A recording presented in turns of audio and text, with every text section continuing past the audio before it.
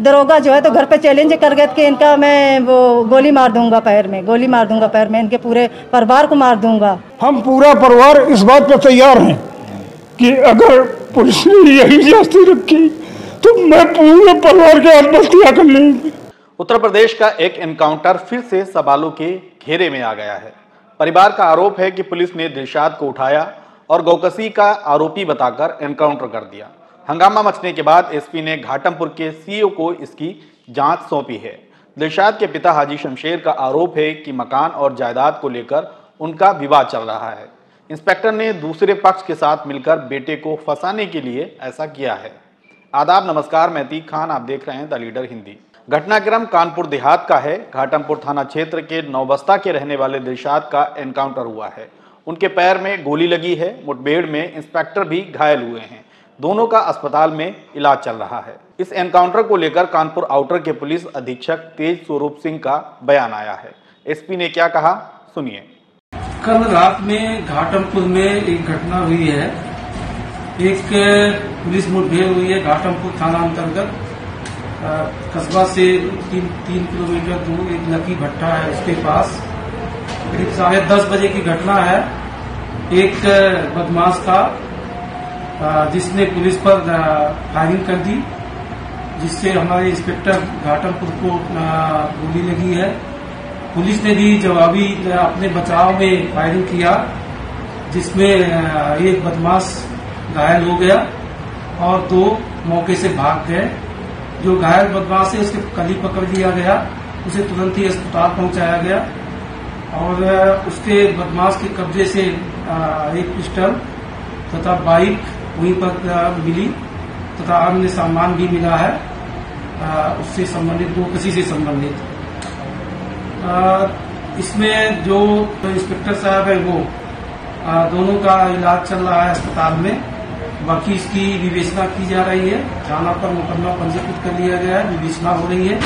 सत्यता के आधार पर आगे कार्रवाई की जाएगी। इसमें और कौन शामिल है वो देखा जा रहा है। और दूसरी एक एक प्रार्थना पत्र ईमेल के माध्यम से इसके बदमाश के पिता शमशेर ने दिया था। इस संदर्भ में मैंने इसकी जाँच क्षेत्राधिकारी घाटमपुर को दी है। जाँच में जो तथ्य प्रकाश में आएँगे, उसके अनुसार कार्रवाई की लेकिन दिलचस्प बात यह है कि दिलशाद का एनकाउंटर होने से करीब डेढ़ घंटे पहले, यानी साढ़े नौ बजे, उनके पिता हाजी शमशेर ने मुख्यमंत्री डीजीपी राज्यपाल, राज्य मानवाधिकार आयोग और दूसरे अधिकारियों को इसकी शिकायत प्रति भेजी थी। पचासी साल के हाजी शमशेर, जो कि दिल के मरीज़ हैं, उन्होंने अपनी शिकायत में कहा था कि मेरे बेटे दिलशाद को पुलिस ने तीन जुलाई की शाम सात बजे रास्ते से पकड़ा था, जब वे घर का सामान लेने जा रहे थे। खबर मिलने पर मैं थाने पहुँचा तो पुलिस ने डांट कर भगा दिया। दरअसल संपत्ति को लेकर कुछ लोगों के साथ हमारा विवाद है, जो कि काफ़ी ताकतवर हैं, और स्थानीय पुलिस उसी पक्ष के साथ मिली हुई है। हम पूरा परिवार इस बात पर तैयार हैं कि अगर पुलिस ने यही जास्ती रखी तो मैं पूरे परिवार के आत्महत्या कर लेंगे। अगर हमारी सुनवाई नहीं होती, हमने नौ बजे शिकायत कर दी है, सात बजे हम आ गए। जब सात बजे की सूचना मिली नौ बजे कर दी और हर जगह ऊपर चलने लगा। मीटर भी चलने लगा। और उसने दस बजे, साढ़े दस बजे जब के उसका काउंटर किया, वो जब कर दिया। इनकी कोई, जब कहीं मुझे न घुसने दिया, अस्पताल की भी पोजीशन ये है कि मेरे परिवार गया उसकी बीवी वहीं है, उसको नहीं जाने दे रहे, मेरी लड़कियों को नहीं जाने दे रहे। ये कहाँ का न्याय? है? हाजी, शमशेर ने इंस्पेक्टर पर बेहद गंभीर आरोप लगाए हैं। शिकायत में कहा है कि कुछ दिन पहले घाटमपुर के इंस्पेक्टर ने उनके परिवार में तांडव मचाने की धमकी दी थी। इसलिए मुझे आशंका है कि मेरे बेटे दिलशाद की हत्या कर एनकाउंटर का स्वरूप दिया जा सकता है। मुझे ना तो बेटे की जानकारी है और ना ही उस पर लगाए गए आरोपों की। इंस्पेक्टर ने इलाके के दलालों के इशारे पर मेरे परिवार का जीना मुश्किल कर रखा है। ऐसे हालात में हमारा परिवार आत्महत्या करने को मजबूर होगा। इसलिए क्योंकि पुलिस परिवार के बच्चों जिसमें नाती पोते तक शामिल हैं, ऐसे मामलों में फंसा रही है जिनका खुलासा नहीं हो पाता है और उनकी ज़िंदगी बर्बाद कर रही है। इससे हमारा पूरा परिवार डिप्रेशन में है। जायदाद का मामला है। हमारे वाली से जो चलती है, शमशेर कुरैसी और अकरम अकरम से।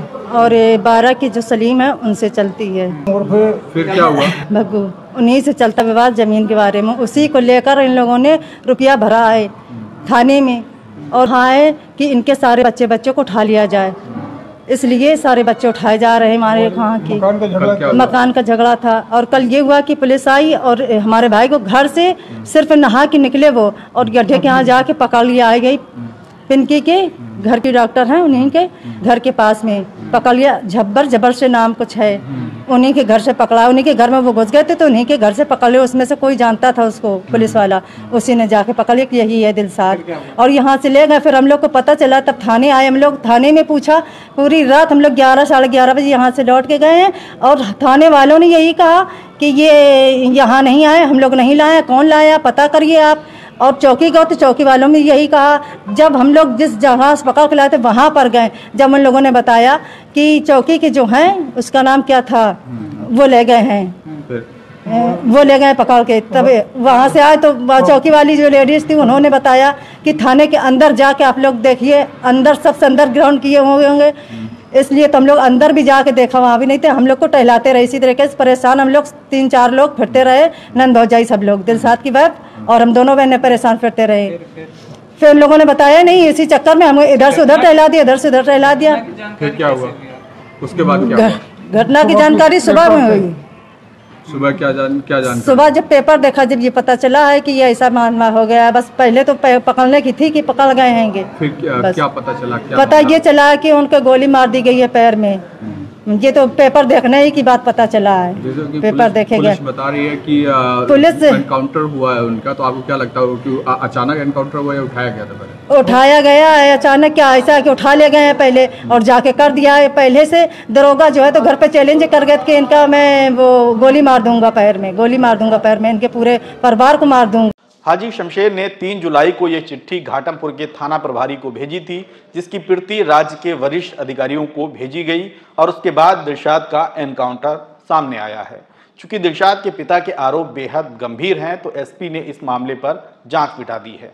एनकाउंटर के बाद भी हाजी शमशेर के परिवार ने पुलिस पर गंभीर आरोप लगाए हैं, जिसको लेकर एक बार फिर से पुलिस सवालों के घेरे में आ गई है और कई मानवाधिकार कार्यकर्ता इसकी उच्च स्तरीय जाँच की मांग उठा रहे हैं।